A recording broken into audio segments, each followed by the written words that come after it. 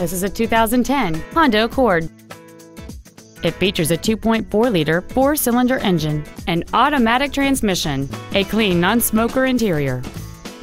Features include a low tire pressure indicator, traction control and stability control systems, cruise control, a CD player, a passenger side vanity mirror, front multi-stage airbags, latch-ready child seat anchors, air conditioning, full power accessories, and this vehicle has fewer than 68,000 miles on the odometer.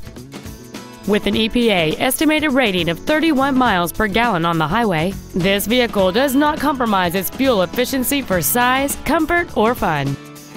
Contact us today to arrange your test drive.